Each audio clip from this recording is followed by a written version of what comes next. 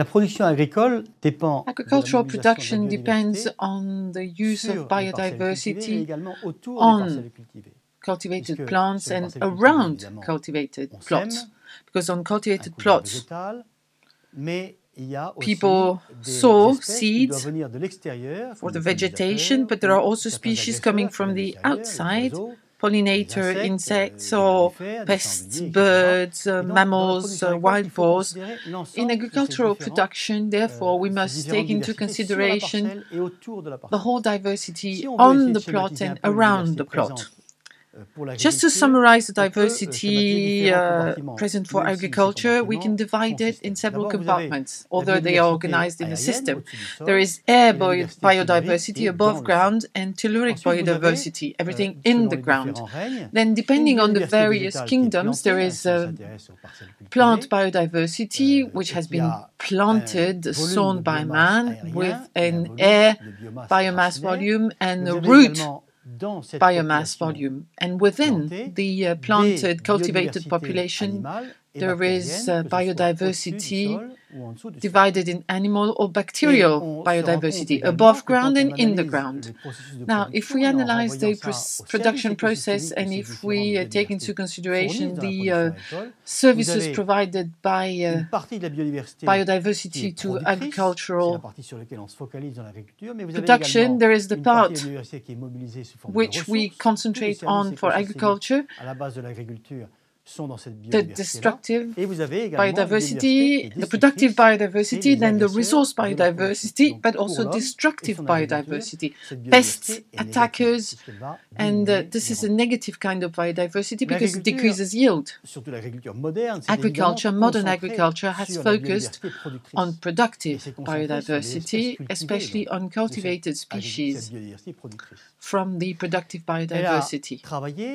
comme nous l'avons vu, As we have seen, domestication d'espèces pour Agriculture has performances de l'espèce dans domesticated species in order to improve the yield in the une centaine d'années, cultivated uh, land. Compréhension meilleure des But règles de l'hérédité. et And during the last 100 years, we have acquired better knowledge and understanding of uh, biology and the way living beings function, and therefore agriculture has used this espèces sous forme de knowledge to improve species in the form of elite varieties drawn from the cultivated communément les ressources biodiversity, what we ressources génétiques liées à nowadays call genetic resources. Elle l'a fait de différentes façons, mais This was done in several different ways, but le schéma est le roughly for each species, the pattern is more or less the same. attachée à d'abord Agriculture identifier, caractériser la Try to identify, characterize espèce-là, la biodiversity, diversité génétique de genetic biodiversity of a given species, l'espèce cultivée ou des espèces be it uh, a cultivated species or a uh, similar wild species, a relative, La linked with the, uh, domestication variétale a été process d'identifier des caractères and favorables varietal improvement task was to identify favorable characteristics, combine them, et créer des to come up with new mieux adaptées, plus performantes à certains variability and varieties that are better suited to a given type of context, non limitants, comme nous l'avons especially in contexts uh, with no limiting factors. Les progrès énormes de, Now, the huge progress made by biology euh, à, à la science de has also allowed uh, the science uh, which uh, endeavors to improve uh, cultivated plants to move forward.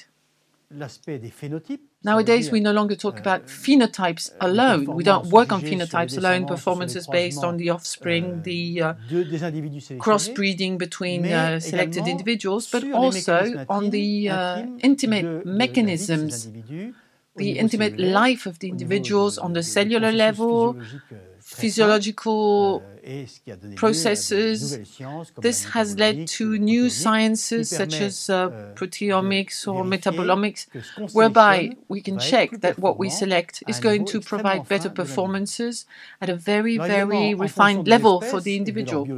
Now, based on the species and the floral variétale ne va pas être biology, de la même forme, ne va pas suivre les varietal improvement will not follow the same florale entre les pattern. plantes qui se reproduisent de floral biology between plants that have a reproduisent de façon sexed reproduction or a on ne va pas agir vegetative de la même façon, les reproduction. généticiens ne vont pas agir de la même façon pour fashion, geneticists are not going to work exactly the same way in order to créer une nouvelle use the uh, genetic uh, existing resources to create a new elite variety. Euh, euh, There are also plants that are allogamous or autogamous. Euh, florale des and floral biology of euh, cultivated va species pour chaque espèce finalement imposes a des given méthodes, pattern des for each species, selection methods Et, uh, euh, and tools that are facteur qui va well suited to that particular species. d'améliorer les espèces, Another a factor that influences the way we select species is the access to genetic Pour les grandes resources and natural comme le riz ou le variability for main species such as rice or maize. The diversity has been collected. Collections ex situ, There are des collections qui ex sont conservées ensemble situ collections euh, of uh, seeds and saplings uh, kept in uh, euh, fridges pour le riz, où vous avez so that we have permanent access to the genetic resource. For rice, there are about conservées, le maïs, 100,000 près de 20 000. species of rice kept in a fridge. For maize, about 20,000. So the main aussi vet pour les races plant species that we work on, and this is also true euh, for animal species, génétiques conservées qui we have euh, collections of genetic resources uh, kept in a fridge and uh, usable to improve uh, genetic uh, avancées de la science biologique ont permis characteristics. The progress made by biological sciences has also allowed to des grands progrès. genetic engineering to move forward. on a aujourd'hui des systèmes qui permettent de faire de la sélection Nowadays, we have systems uh, veut dire que plutôt which uh, allow us to perform marker assisted uh, genetic selection. Rather than uh, à partir de analyzing the improvement on the field, we can analyze the improvement l'absence de tel by gène mark ou de with markers which uh, detect the presence of a given gene or a given molecular euh, characteristic. Grâce aux avancées We call them biologique, encore une fois, mais aussi des QTL. sciences annexes comme Thanks to the progress made by, therefore, bio- biology but also physiology, génétique sont devenus extrêmement genetic improvement et on est patterns are highly une- à une performing marche, je dirais, today, presque ultime, où on and we are besoin de voir le reaching the, the ultimate individu pour le step sélectionner, ce qu'on appelle la because we no longer need to see the phenotype of an individual to select the individual. pas sur leur descendance, We don't select an individual based on its phénotypique, mais sur la phenotypic value and the offspring, but the presence or absence of a given type of interest, of gene which might be interesting. espèces ont dû The research to improve species has focused on the main emblematic species. Des grandes espèces qui mobilisent There are des investissements considérables. big species uh, which attract most of the le riz, investment euh, wheat, maize, rice, euh, soya bean.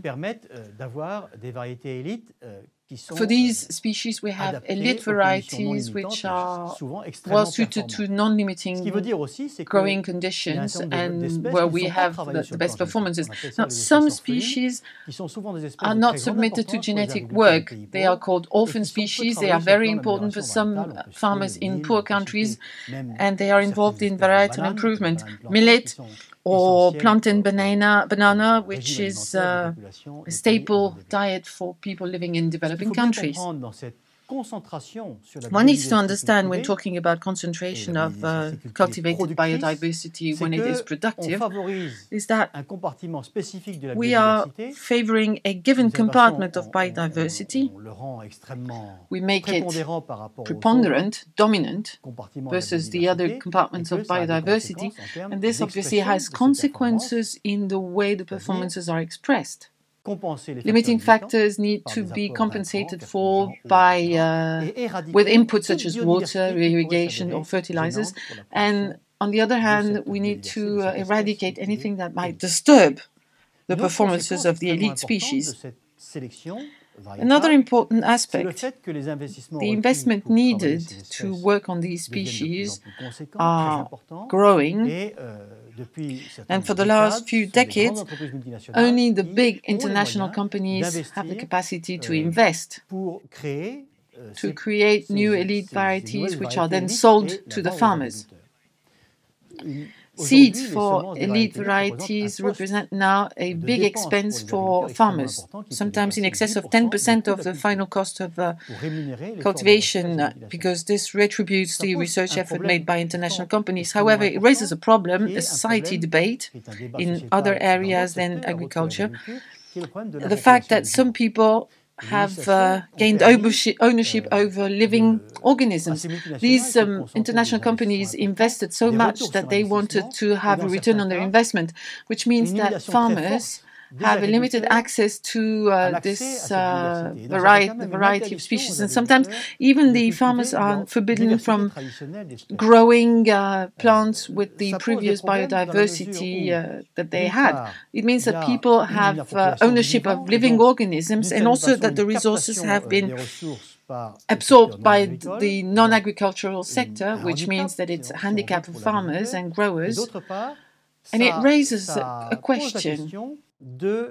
What about the maintenance of the large collection of uh, cultivated species? Ex situ collections, such as the one kept in fridges, are static, frozen, if I may say so, and there is no evolution. Therefore, we are in danger of seeing a dynamic loss of these collections un- inevitably, which means that nowadays producers are going back to in situ collection preservation, biodiversity in the wide sense of meaning of the, the word, and uh, farmers have direct access to the useful genetic uh, wealth.